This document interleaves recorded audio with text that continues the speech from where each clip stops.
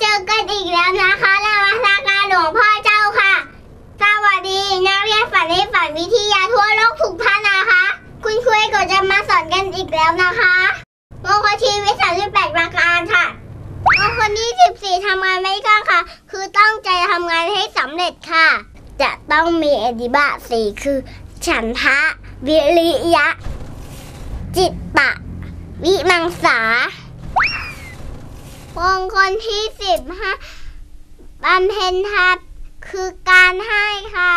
มีสามอย่างคือ อภิสทาน วิทยาทาน และอภัยทาน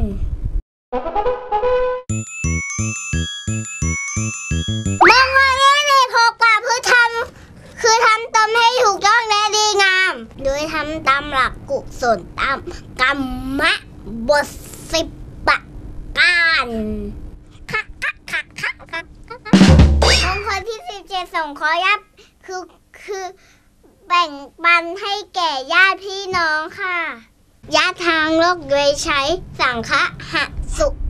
วัตถุสิบปะการค่ะ ปิ้งปิ้งปิ้งปิ้งปิ้งปิ้งปิ้งปิ้งญาติทำทำ ชวนญาติไปทำบุญรักษาศีลและภาวนา วันนี้ไอโกขอแค่นี้ก่อนนะคะ วัน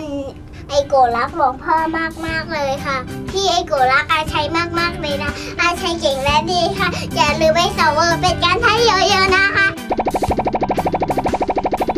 บ๊ายบายสมจุ๊บสวัสดีค่ะ